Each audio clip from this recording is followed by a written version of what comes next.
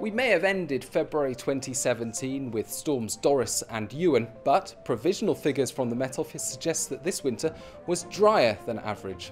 This follows a dry autumn and is a big contrast to recent very wet winters. Absolutely. So last winter uh, was the second wettest winter on record, uh, and actually the wettest winter in our series was just three years ago uh, in 2013-14.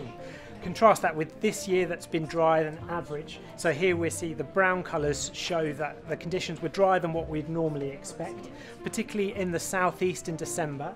Um, during January, the dry weather was further north, more over Scotland, and, and February's actually come out relatively close to average. But that means for the winter overall, it's been about three quarters of, of what we might expect in a, in a normal winter.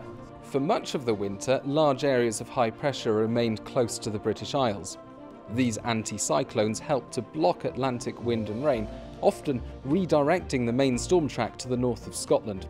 Whilst many dry winters are also cold, this year northerly and easterly winds were only brief occurrences, and we ended up with a rare, dry, but mild winter.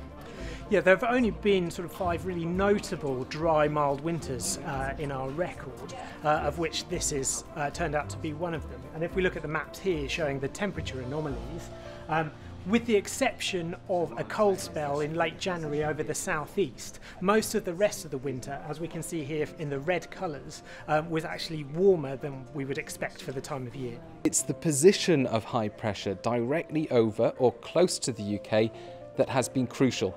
The result? A dull winter with long periods of fog and mild southwesterly winds.